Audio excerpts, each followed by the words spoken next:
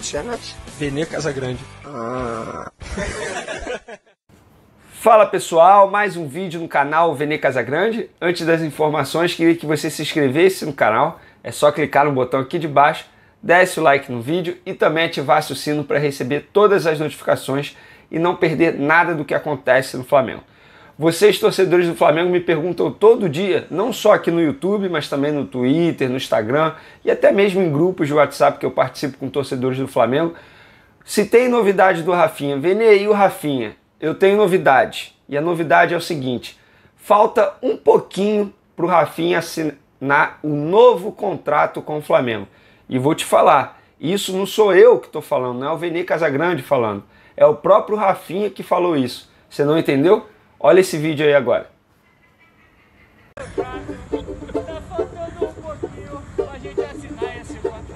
Compadre Rafinha, só falta você pra ficar muito legal. Vem logo pro Flamengo, vamos ganhar em geral. E a gente ganha geral. Vou falar, mas não faz mal. O Mengão ganhou hoje. Domingo que vem é o Internacional. Moro na roça, é, é, moro na roça. E aí, viu o vídeo? Entendeu o que ele falou? Para você que não entendeu, vou falar aqui agora. Tá faltando um pouquinho para a gente assinar esse contrato. O Mengão ganhou hoje. Domingo que vem é o Internacional. Ou seja, Rafinha aí revelando que está bem próximo de assinar o seu novo contrato com o Flamengo.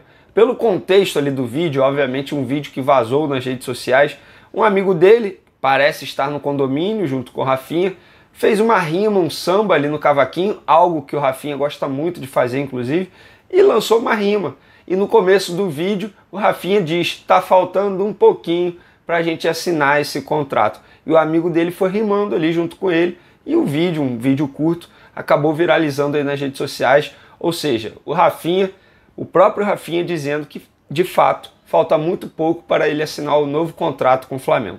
A situação é o seguinte, só para eu não fazer um vídeo em cima de um vídeo que viralizou nas redes sociais. Obviamente que antes de gravar esse vídeo aqui para o canal Vene Casagrande, fui conversar com algumas pessoas do Flamengo para saber se de fato como é que está essa negociação, se está bem encaminhada, se a expectativa continua boa no Flamengo para o Rafinha retornar ao clube carioca. E me falaram que a situação andou, as conversas andaram, tudo caminhando muito bem para o Rafinha de fato voltar ao Flamengo. Caso ele assine mesmo o contrato com o Flamengo, vai ser um contrato curto, válido de março até dezembro, ou seja, em torno de 10 meses, e um salário que o jogador vai ter dentro do orçamento do Flamengo. O Flamengo não vai botar em risco o orçamento para ter o Rafinha no elenco novamente. É um salário menor até do que ele recebia anteriormente antes de ir para a Grécia, porém o jogador aceitou, topou essa essa proposta, digamos assim, mas ainda não tem nada assinado, como o próprio Rafinha disse. As conversas estão caminhando bem. Obviamente outros clubes podem demonstrar interesse futuramente, fazer até um contrato, fazer até uma proposta para o Rafinha, mas isso ainda não aconteceu. O Rafinha ainda não disse o ok para o Flamengo de uma forma formal, digamos assim. Não teve assinatura ou um documento dizendo, ó, oh, eu vou voltar ao Flamengo. As conversas estão caminhando bem. Os dirigentes do Flamengo estão muito otimistas para ter o Rafinha na temporada 2021. Até porque o planejamento do Rafinha, pelo que eu conversei com pessoas próximas ao jogador, é em 2022 atuar pelo Curitiba. Isso aí não é mais segredo para ninguém. O Rafinha tem o desejo de encerrar a carreira no Curitiba. Então, o próprio o próximo clube que Rafinha escolher atuar será de fato um contrato curto.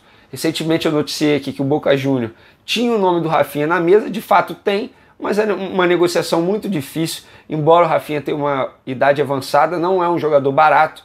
O Boca Juniors não vive o melhor dos momentos financeiros, teria que fazer um esforço muito grande para contratar o Rafinha, mas ainda tem um jogador na frente do Rafinha. Caso essa negociação, o dirigente do Boca Juniors, só para deixar claro, não me falou qual é o nome, só falou: a gente tem um outro alvo na mira do Rafinha. Rafinha, obviamente, é um jogador que desperta interesse de vários clubes no mundo inteiro. Mas a gente tem interesse de contratar um outro jogador para a lateral direita, já que Bufarini, atual jogador da posição, não vai renovar o contrato. O vínculo vai até junho, não vai renovar e o Boca Juniors tem que trazer um jogador para essa posição. E é isso que eles estão tentando fazer. O nome do Rafinha está lá, mas não tem nenhuma negociação, nada disso. É um nome que agrada e ponto. O Flamengo está muito à frente aí do Boca Juniors para acertar o retorno do lateral direito ao clube carioca. Como eu já disse, é um contrato curto e um salário que estará dentro do orçamento. Muita gente vai me perguntar, Venê, tem necessidade do Flamengo contratar o Rafinha? Muitos torcedores, não torcedores do Flamengo, tá? Mas muitos me procuraram falaram para conversar sobre o Rafinha.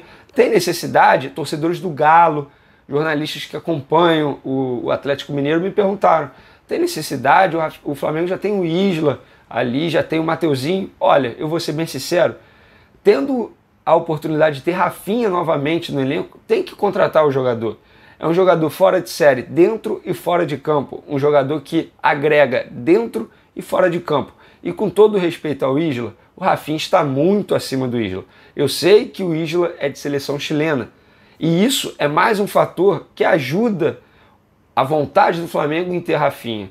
Porque em 2021 várias convocações irão acontecer. O Isla ele é convocado com uma certa frequência para a seleção chilena. Com isso, o Flamengo vai ficar desfalcado em muitos jogos. E tendo o Rafinha, que não é convocado, perfeito. Então, assim, existe sim a necessidade, você tendo a oportunidade de ter Rafinha no elenco, por que não? E eu acho que o Flamengo vai agir de uma maneira muito correta para contratar o Rafinha e ter o Rafinha novamente ali no elenco. Só para ilustrar um pouco, o Isla não tem feito bons jogos com a camisa do Flamengo, falhou contra o Red Bull Bragantino, contra o Corinthians, apesar da vitória, eu acho que o Isla poderia ter, sido, ter tido uma atuação melhor. Falo isso pelos números também. É, poucos duelos ganhos, pelo segundo o site SofaScore aqui, de nove duelos ele ganhou apenas cinco. Então, assim, é um jogador que pode agregar mais. Não vive o seu melhor momento com a camisa do Flamengo. Eu acho que o Rafinha ele cairá como uma luva no time rubro-negro carioca. Beleza, pessoal? Espero que vocês tenham acompanhado, gostado do vídeo.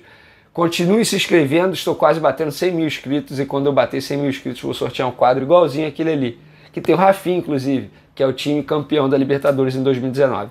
Valeu, galera, forte abraço, tamo junto.